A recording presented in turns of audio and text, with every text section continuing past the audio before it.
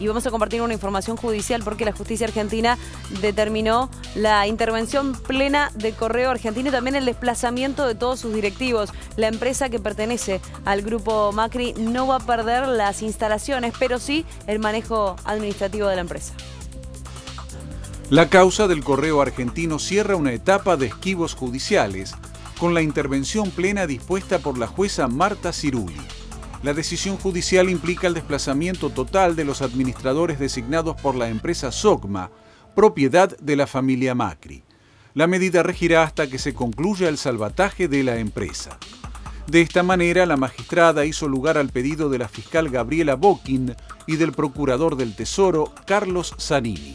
Bokin había advertido que luego de más de 15 años de ordenado el salvataje de la sociedad comercial, se perpetraron actos de gravedad ligados al vaciamiento de la empresa, violando lo dispuesto en la Ley de Concursos y Quiebras.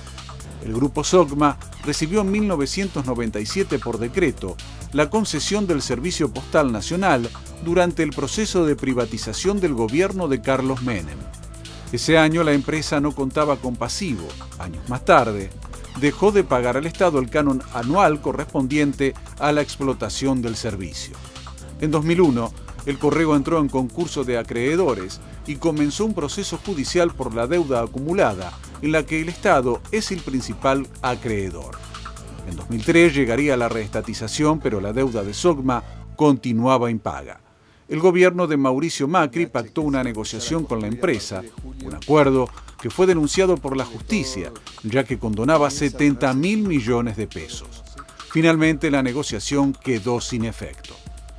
El plan actual de salvataje, iniciado con la intervención, implicaría la adquisición de los activos por un tercero a cambio de hacerse cargo de la deuda, o una segunda opción, que sería la quiebra. Un escenario complejo para el holding empresarial.